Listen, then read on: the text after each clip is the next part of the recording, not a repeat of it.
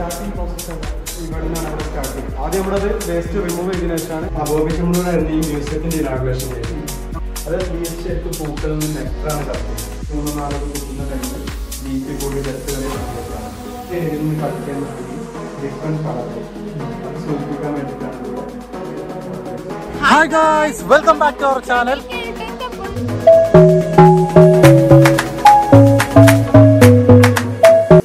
ഞങ്ങളെ പുതിയൊരു വീഡിയോയിലേക്ക് എല്ലാവർക്കും സ്വാഗതം. വയനാട്. ഇപ്പം നമ്മൾ നിൽക്കുന്നത് വയനാട്ടിന്റെ ഒരു നല്ലൊരു പ്രകൃതി രമണീയമായിട്ടുള്ള ഒരു സ്ഥലത്താണ്. പക്ഷേ പ്രകൃതി മാത്രമല്ല വയനാട്ടിലുള്ളത്. വേറെ പല സംഗതികളുണ്ട്. നിങ്ങൾ തമ്മനയിൽ കണ്ടതുപോലെ വളരെ ഞങ്ങൾ ഇങ്ങനെ നടന്നുകൊണ്ടിരിക്കുന്ന. ഞങ്ങൾ ഇങ്ങനെ തെരഞ്ഞ് തെരഞ്ഞ് ഇങ്ങനെ ആ, പെട്ടെന്ന്.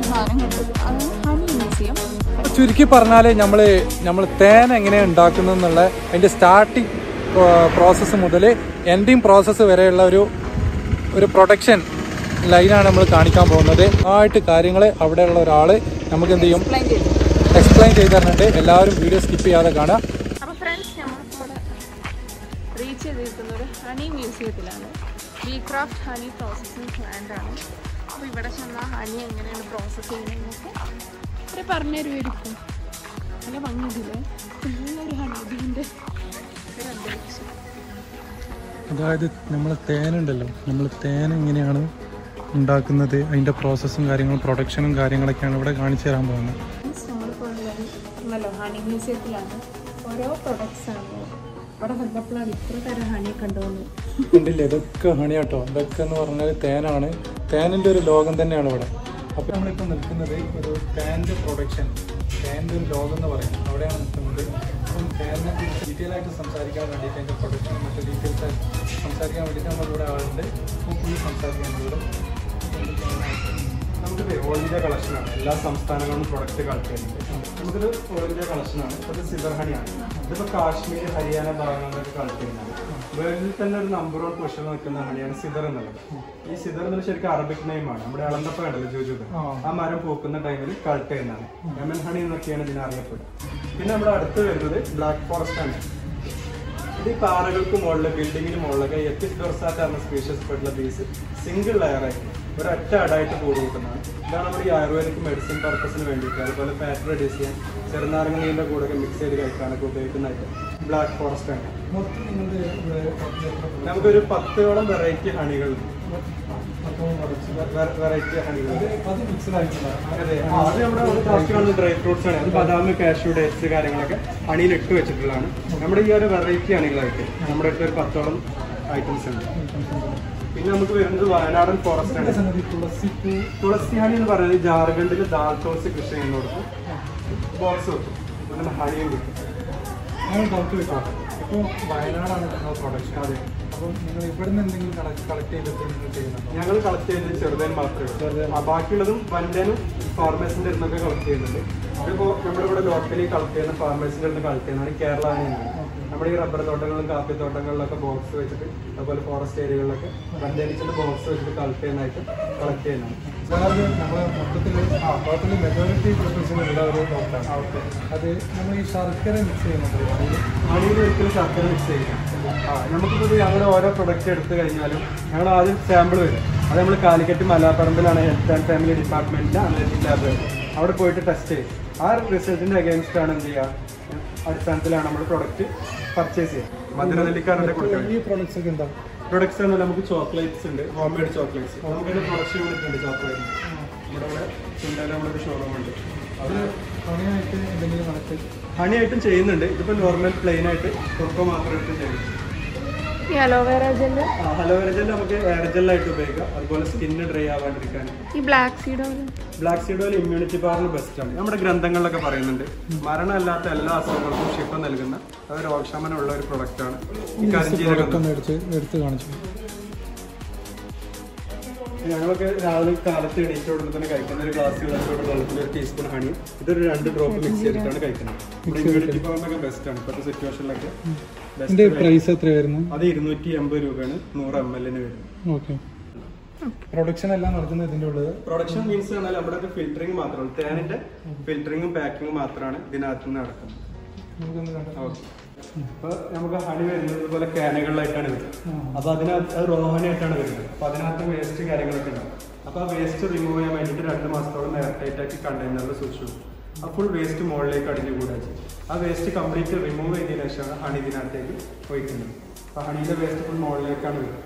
ഇന്നിപ്പോ അതെ നമുക്ക് ആ ഇന്ന് കറണ്ടിന്റെ ചെറിയൊരു പ്രോബ്ലം ഉണ്ട്. പിന്നെ നമുക്ക് ഓൾറെഡി ഇപ്പോൾ മിനിയാനൊക്കെ ചെയ്തു ഇന്നലെ ചെയ്തൊക്കെ എന്തുണ്ട്? സ്റ്റോക്ക് ഉണ്ട്. അപ്പോൾ അത് അവർ പാക്ക് ചെയ്തുകൊണ്ടിരിക്കുക സ്റ്റാർട്ടിംഗ് പ്രോസസ് ഇവിടെ നിന്നാണ് നമ്മുടെ സ്റ്റാർട്ടിങ് ആദ്യം നമ്മളത് വേസ്റ്റ് റിമൂവ് ചെയ്തതിനു ശേഷമാണ് എന്ത് ചെയ്യാം പണി ഇതിനകത്തേക്ക് വയ്ക്കുക. ഇവിടുന്ന് രണ്ടാമത്തെ ചാമ്പറിലോട്ട് ഹാൻ ഷിഫ്റ്റ് ചെയ്യുമ്പോഴേക്കും ഇതിനകത്തുള്ള മൈക്രോ വേസ്റ്റ് മേഗിന്റെ കണ്ടന്റ് കംപ്ലീറ്റ് ഈ ഒരു ഫിൽറ്റർ വലിച്ചെടുക്കും. അങ്ങനെ കംപ്ലീറ്റ് ഫിൽറ്റർ ആയതിനു ശേഷമാണ് സെക്കൻഡ് ചാമ്പറിലോട്ട് ഹണി പോകുന്നത്. അപ്പോഴേക്കും ഫിൽട്രേഷൻ കംപ്ലീറ്റ് ആയി. പിന്നെ ഇതിന്റെ മെയിൻ ഉദ്ദേശം നേരത്തെ പറഞ്ഞ പോലെ ചാനലിൽ ജലാംശം ഉണ്ടാവും. ഇരുപത് ശതമാനത്തിന് മുകളിൽ മോയ്സ്ചർ കണ്ടന്റുള്ള ഹാനി പെട്ടെന്ന് ഫെർമെന്റേഷൻ നടക്കാനുള്ള സാധ്യത അപ്പോൾ അതുകൊണ്ടാണ് ഫുഡ് ആൻഡ് സേഫ്റ്റി പറയുന്നത് ഇരുപത് ശതമാനത്തിന് മുകളിൽ മോയ്സ്ചർ കണ്ടന്റുള്ള ഹാനി നിൽക്കാൻ പാടില്ല. അതിന്റെ പ്രോബ്ലംസ് എന്താ വെച്ചാൽ നമ്മൾ നോർമൽ ടാങ്ക് കഴിക്കുന്നത് ഈ വാദം പിത്തം എന്നീ അസുഖങ്ങൾ ഇല്ലാണ്ടിരിക്കും. പക്ഷെ നമുക്ക് ഈ പുളിച്ച തേൻ കഴിക്കുമ്പോൾ ഈ ത്രിദോഷം ഉണ്ടാവാൻ ഉപയോഗം അപ്പൊ അതിന് വേണ്ടിയിട്ട് നമ്മുടെ സെക്കൻഡ് ചാമ്പറിൽ നിന്ന് തേർഡ് ചാമ്പറിലോട്ട് ആണ് ഷിഫ്റ്റ് ചെയ്യും അത് വരുന്നത് ഫസ്റ്റ് ടവർ വഴിയാണ് ഹണി ഇങ്ങോട്ടേക്ക് വരുന്നത്. ഈ ഫസ്റ്റ് ടവർ രണ്ട് ലെയറായിട്ട് പുറം വശത്തൂടെ ആ ഹീറ്ററിലുള്ള വെള്ളം റൊട്ടേറ്റ് ചെയ്യും. ഫുൾ വശത്തൂടെ ഹണി ഇങ്ങോട്ടേക്ക് പമ്പ് ചെയ്യുന്നത്. അത് ഈ ഒരു ഡോസിംഗ് പമ്പിന്റെ സഹായത്തോട് കൂടിയിട്ടാണ് ഇങ്ങോട്ടേക്ക് അണിയുന്നത് ഇഞ്ചക്ഷൻ പമ്പ് എന്ന് വരെ അതിന് അറിയപ്പെടാറുണ്ട് അപ്പോൾ അത് ആ ഇഞ്ചക്ട് ചെയ്യുന്ന ആ ഒരു പ്രഷർ കൊണ്ട് ഈ ഒരു ബോട്ടവറിലൂടെ തന്നെ ഹണി ഇങ്ങോട്ടേക്ക് എത്തുമ്പോഴേക്കും ഇതിനകത്ത് ബബിൾസ് കയറ്റും കുമിളകളായിട്ട്. ആ ബബിൾസിനെ പിന്നീട് വാക്വം പമ്പ് വെച്ചിട്ട് ഇവാപ്പറേറ്റ് ചെയ്തെടുക്കുക ചെയ്യും. അങ്ങനെ ഇവാപ്പറേറ്റ് ചെയ്ത് രണ്ടാമത്തെ ടവർ കൂളിംഗ് ടവർ അതിലോട്ട് ഈ നീരാവി എത്തുമ്പോഴേക്കും സാധാരണ നാച്ചുറൽ വാട്ടറായിട്ട് മാറും. അതായത് മുന്നൂറ് കിലോ പ്രോസസ് ചെയ്യും മുന്നൂറ് കിലോനാണ് ഇതിന്റെ കപ്പാസിറ്റി പ്രോസസ് ചെയ്യുന്ന ടൈമിൽ നമുക്കൊരു ആറ് ഏഴ് ലിറ്റർ വെള്ളം നമുക്ക് ഈ ക്യാനിനകത്ത് വേർതിരിച്ചെടുക്കാം. അതാണ് ഇതിന്റെ സിസ്റ്റം വരുന്നത്. അപ്പോൾ ഈ നേരിയൊരു ചൂടുണ്ടാവും. ഈ ഒരു ബോട്ട് ടവറിലൂടെ വരുന്നുണ്ട് നാൽപ്പത് ഡിഗ്രിയിലാണ് സെറ്റ് ചെയ്തിട്ട് ആ ചൂട് ഒഴിവാക്കാൻ വേണ്ടിയിട്ട് മൂന്നാമത്തെ ടവർ കൂളിംഗ് ടവർ അതിലൂടെ ഈ ഫോർത്ത് ചാമ്പറിലോട്ട് ഹണി തേൻ നല്ല കൂളായിരിക്കും പിന്നെ നേരത്തെ പറഞ്ഞ പോലെ തന്നെ ജലാംശം കുറഞ്ഞുകൊണ്ട് തന്നെ ഹണി നല്ല തിക്കായി. അതാണ് ഇതിന്റെ ഏകദേശം പ്രോഡക്ഷൻ കപ്പാസിറ്റി എങ്ങനെ? ഇപ്പോൾ ഒരു നമ്മൾ ആ ഡയറി നമ്മൾ ഉണ്ടാക്കില്ല. നമ്മുടെ ഫിൽറ്റർ ചെയ്യുന്നത് മുന്നൂറ് കിലോനാണ് അറ്റ ടൈം നമുക്ക് ഏഴ് മണിക്കൂർ വേണം ഇത് ചെയ്യാൻ. പാക്കിംഗ് ഇങ്ങനെ മാനുവലായിട്ട് ആ മാനുവലായിട്ട് തന്നെ. നമ്മളിപ്പോ ഇവിടെ കോഫി ചാമ്പറിൽ വന്നു കഴിഞ്ഞാൽ മാനുവലായിട്ട് നമ്മൾ ഇതുപോലെ ഷിഫ്റ്റ് ചെയ്യും. എന്നിട്ട് അവിടുന്ന് മാനുവൽ പാക്കിങ് കാര്യങ്ങളൊക്കെയാണ് ചെയ്യുന്നത്. നമ്മുടെ ഫസ്റ്റ് പാക്കിങ് കാര്യങ്ങളൊക്കെ വീടിനകത്തായിരുന്നു അതായത് നമ്മുടെ ഷോപ്പുകളിലേക്കൊക്കെ പ്രൊഡക്റ്റ് പോയിക്കൊണ്ടിരുന്നു പിന്നീട് ഒരു ചെറിയൊരു മ്യൂസിയം പോലെ ബീച്ചിനെ കുറിച്ചുള്ള ഡീറ്റെയിൽസ് കൂടി കൊടുക്കാന്നുള്ള രീതിയിൽ സെറ്റ് ചെയ്തിട്ടുള്ളതാണ് ഇവിടെ. ഓക്കെ എന്നാൽ നമുക്ക് ആ, just കാണാം. ആ ബോബി ചമ്മളൂരായിരുന്നു ഈ മ്യൂസിയത്തിന്റെ ഇനാഗുറേഷൻ ചെയ്തത് നമ്മുടെ ടൂ തൗസൻഡ് എയ്റ്റിലാണ് ഫസ്റ്റ് നമ്മുടെ തേൻ കച്ചവടം സ്റ്റാർട്ട് ചെയ്യുന്നത്. തേൻ വിപണന കേന്ദ്രം എന്നുള്ള പേരിൽ ഒരു ഹണി സൊസൈറ്റി അവിടെ വയനാട് സ്പേസ് എന്നായിരുന്നു അന്നത്തെ നമ്മുടെ ഫാമിലിന്റെ പേര്. അതിനുശേഷം ബത്തേരി സ്റ്റാർട്ട് ചെയ്ത് നമ്മുടെ അന്നത്തെ പാക്കിംഗ് കാര്യങ്ങളൊക്കെയാണ് ആ ഒരു മോഡൽസിലായിരുന്നു നമ്മുടെ ബോട്ടിൽസ് ഒക്കെ ഉണ്ടായിരുന്നത്. ശേഷം രണ്ടായിരത്തി പതിനേഴിലാണ് ബി ക്രാഫ്റ്റ് എന്ന കമ്പനി സ്റ്റാർട്ട് ചെയ്യുന്നത്. നമ്മുടെ ലോഗോ ലോഞ്ചും കാര്യങ്ങളൊക്കെയാണ് അവിടെ കൊടുക്കുന്നത്. പിന്നെ രണ്ടായിരത്തി പതിനെട്ടിലാണ് ഫസ്റ്റ് ബ്രാൻഡഡ് ഷോറൂം തുടങ്ങുന്നത്. മനോജ് കേജിലായിരുന്നു നമ്മുടെ ഷോറൂമിന്റെ ഇനാഗ്രേഷൻ ചെയ്തത്. എല്ലാ ജില്ലയിലും വരും. ഓരോ ജില്ലയിലും ഒരു അമ്പത് കിയോസ്ക് റാക്ക് വെക്കാനുള്ള പ്ലാനാണ് ശരിക്കും ഒരു മ്യൂസിയം സെറ്റപ്പ് ഇപ്പൊ ഇവിടെ നമ്മുടെ ഇത് കൊടുത്തിട്ടുള്ള വെച്ചാൽ പ്രൊസസിംഗ് മെഷീൻ മെത്തേഡ് പറഞ്ഞല്ലോ. അതായത് പ്രൊസസ് ചെയ്യുന്ന വേസ്റ്റ് റിമൂവ് ചെയ്യാൻ. വേസ്റ്റ് റിമൂവ് ചെയ്യാൻ എന്ന് പറയുന്ന ടൈമിൽ എല്ലാവർക്കും അറിയാം. സ്വാഭാവികമാണ് വേസ്റ്റ് റിമൂവ് ചെയ്യും. അതേപോലെ തന്നെ തേല ജലാംശം കുറക്കാന്നുള്ള ടൈമിൽ തേല എങ്ങനെയാണ് ജലാംശം വരുന്നത് എന്നുള്ള ഡൗട്ട് കാര്യങ്ങളൊക്കെ ഉണ്ടാവും. അപ്പൊ അതൊക്കെ ഒന്ന് ക്ലാരിഫൈ ചെയ്യാൻ വേണ്ടിയിട്ടാണ് നമ്മുടെ ഈ ഒരു പിക്ചർ ഇവിടെ കൊടുക്കുന്നത് അതായത് ബീസ് ശരിക്കും പൂക്കളിൽ നിന്ന് നെക്ടറാണ് കളക്ട് ചെയ്യുന്നത്. ഈ നെക്ടർ എന്ന് പറയുന്നത് നൂറ് ശതമാനം സൂക്രോസ് കണ്ടന്റും ഒരു എൺപത് ശതമാനത്തോളം ജലാംശം അടങ്ങിയിട്ടുള്ള ഒരു പാനീയമാണ് അവർ പൂക്കളിൽ നിന്ന് കളക്ട് ചെയ്യുന്നത്. ഇങ്ങനെ കളക്ട് ചെയ്ത പ്രൊഡക്റ്റ് അവരുടെ ശരീരത്തിലുള്ള പാനറയിൽ സൂക്ഷിക്കും എന്നിട്ട് അവരുടെ ബോഡിയിലുള്ള എൻസൈംസും അമിനാസിഡും ഒക്കെ കൂടി ചേർന്നതിന് ശേഷം അതൊരു ചുംബനത്തിലൂടെ ബാക്കിയുള്ള പീസിന് കൈമാറുക ചെയ്യും. ആക്ച്വലി ഇത് സ്റ്റാർട്ടിങ് സ്റ്റേജ് മുതലുള്ള അതെ.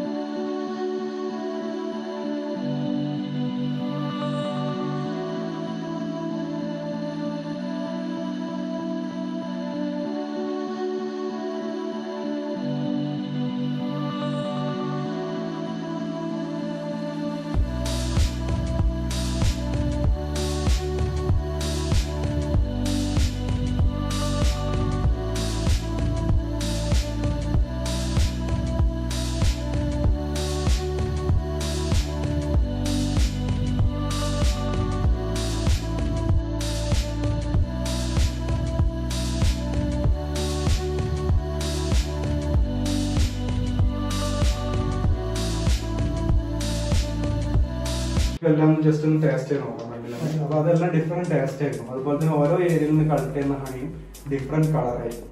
അത് സൂചിപ്പിക്കാൻ വേണ്ടിയിട്ടാണ് ഇവിടെ ഈ ഒരു മോഡൽ വെച്ചിട്ടുള്ളത്. പിന്നെ ഇത് തേന്റെ മെഴുകാണ്. നമ്മുടെ തേന്റെ അട ഉണ്ടാവും ആ കോമ്പിൽ നിന്ന് ഹണി വേർതിരിച്ചതിന് ശേഷം കോമ്പ് ഹീറ്റ് ചെയ്ത് കഴിഞ്ഞാൽ ഇതുപോലെ നമുക്ക് മേഘായിട്ട് നിൽക്കും ഇതുപോലെ പാത്രത്തിന്റെ ഷേപ്പ് ആയിട്ട് വരുന്നതാണ്. ഇത് രണ്ട് മൂന്ന് പ്രാവശ്യം ഇങ്ങനെ ഫിൽറ്റർ ചെയ്യുമ്പോഴേക്കും നമുക്ക് എന്ത് ചെയ്യാം? ഈ ഒരു യെല്ലോയിഷ് കളറിലേക്ക് നിൽക്കും ഇതിനകത്ത് olive oil coconut oil tea oil ഒക്കെ ചേർത്തിട്ടാണ് നമ്മുടെ ബീവാക്സ് എന്നൊരു പ്രൊഡക്റ്റ് ചെയ്യുന്നത്. അത് നമുക്ക് ലിബാമായിട്ട് ഉപയോഗിക്കാം. സ്കിന്ന് ഡ്രൈ ആവാണ്ടിരിക്കാൻ കാൽ വെള്ളിൽ അങ്ങനെയുള്ള ഇഷ്യൂസിനൊക്കെ ബെസ്റ്റ് ആണ്. അത് അവിടെ. പിന്നെ ഇത് ചെറുതനീച്ചിന്റെ മെഴുകാണ്. ഇത് തേൻ കട്ട പിടിച്ചിട്ടതാണ്. ഈ പതിനെട്ട് ഡിഗ്രിക്ക് താഴേക്ക് ടെമ്പറേച്ചർ വന്നു കഴിഞ്ഞാൽ തേൻ ക്രിസ്റ്റലാവും ഇത് നമ്മൾ ഫ്രിഡ്ജിൽ വെച്ചിട്ട് എടുത്തിട്ടുള്ളതായിട്ടാണ്. ഫുള്ളി ക്രിസ്റ്റൽ ആയിട്ടുള്ളത്. ഇതിപ്പോ ലിക്വിഡായി വരുന്നുണ്ട് ചൂട് തട്ടിയിട്ടാണ് അത് അതേപോലെ തന്നെ നമ്മുടെ ഈ ഓരോ ഇതിലൊക്കെ കളേഴ്സ് ഒരുപാട് ഡിഫറൻസ് ഉണ്ട്. ആ അത് ഓരോ ഏരിയയിൽ നിന്ന് കളക്ട് ചെയ്യുമ്പോൾ ഓരോ പൂക്കളുടെ അടിസ്ഥാനത്തിലും കാലാവസ്ഥക്ക് അനുസരിച്ചിട്ടും തന്നെ കളർ ഡിഫറൻസ് അപ്പോൾ ഒരു നോർമൽ ഒരു ഹണിയുടെ ഒരു ക്വാളിറ്റി എന്ന് പറയുന്നത് എത്രയാണ്? അത് നമുക്ക് ഒരു നോർമൽ പേഴ്സണ് നമുക്കാണെങ്കിൽ പോലും തേൻ ഒറ്റ നോട്ടത്തിൽ നോക്കിക്കഴിഞ്ഞാൽ അറിയാൻ കഴിയും. ലാബ് ടെസ്റ്റ് മാത്രമേ ഉള്ളൂ ഒരു മാർഗം എന്നുള്ളത്. ഇപ്പൊ പണ്ടുള്ള ചില ആളുകൾ പറയുന്നുണ്ട് വെള്ളത്തിൽ വെച്ച് നോക്കിയാൽ അതൊന്നും ശരിയായിട്ടുള്ള ഒരു മാർഗമല്ല. അത് വെള്ളത്തേക്കാൾ സാന്ദ്രത ഡെൻസിറ്റി കൂടിയ പ്രൊഡക്റ്റ് വെള്ളത്തിൽ വെച്ച് കഴിഞ്ഞാൽ അത് താഴെ പോയിരുന്നു പക്ഷെ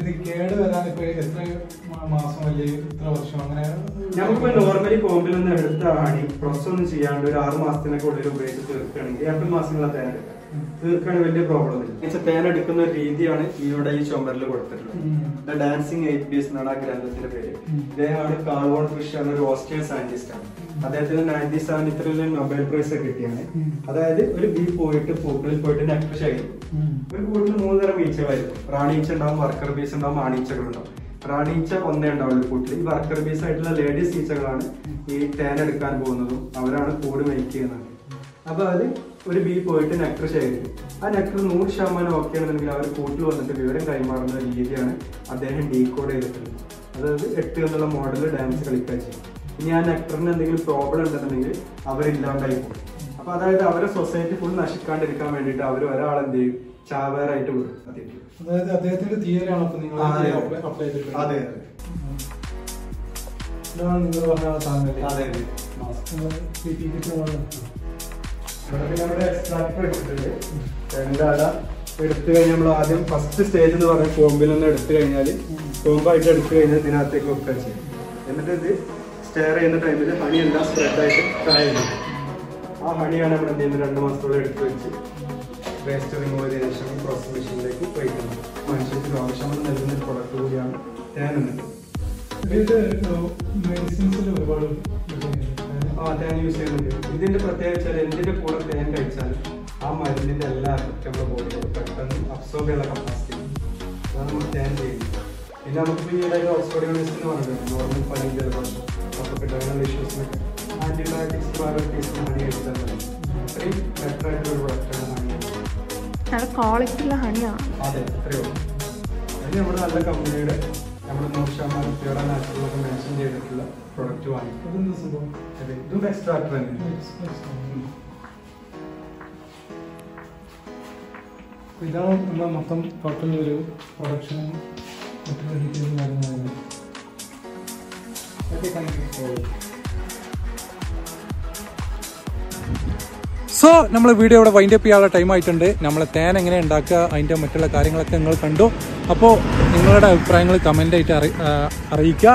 അതുപോലെ തന്നെ എന്താണ് എനിക്ക് പറയാനുള്ളത് പറഞ്ഞു?